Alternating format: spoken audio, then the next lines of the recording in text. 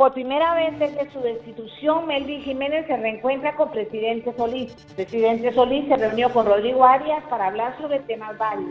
Regidor Josefino aspirará alcalde por nuevo partido calderonista. Fiscalía de Brasil abre investigación contra el expresidente Lula por tráfico de influencias. Hoy es jueves 16 de julio y estas las noticias. Buenas tardes. El exministro de la presidencia, Melvin Jiménez, se reencontró con el presidente Luis Guillermo Solís la noche de este miércoles en un cóctel en casa presidencial. Es la primera vez que Solís se reúne con Jiménez en una actividad pública luego de destituirlo el pasado 16 de abril.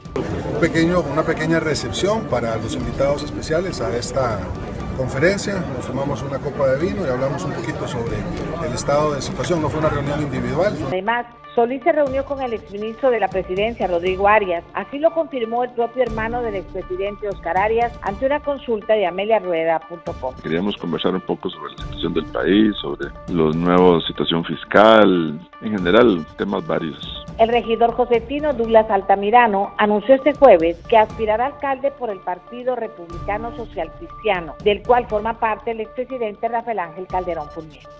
Nuestra nueva casa será, a partir de hoy, el Partido Republicano Social Cristiano.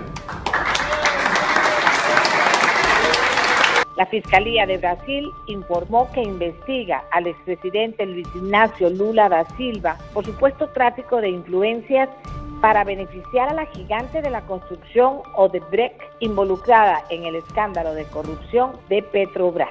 El fraude se estructuró en torno a un club de empresas que amañó licitaciones para adjudicarse obras.